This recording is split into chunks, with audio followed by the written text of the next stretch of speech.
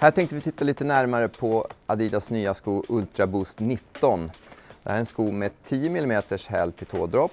Den väger 310 gram i en storlek US 9 herr och den väger 268 gram i en US 7 dam.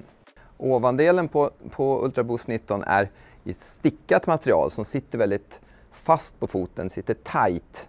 Och den speciella hälkappan som är mjuk är ju snäll mot hälsenor och man har lagt in små eh, vadderingar på insidan här som, eh, så att skon ska riktigt sluta åt och ge den där tajta passformen.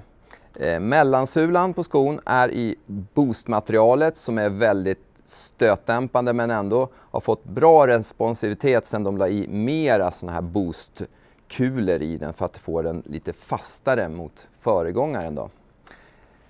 Yttersulan på skon är i det här så kallade Continental Rubber. Det är som ett bildäcksgummi. Ger fantastiskt bra grepp på blandat underlag. Eh, kan kännas när det är lite småhalt så ger det faktiskt lite, lite grepp. Bättre än, än många andra skor.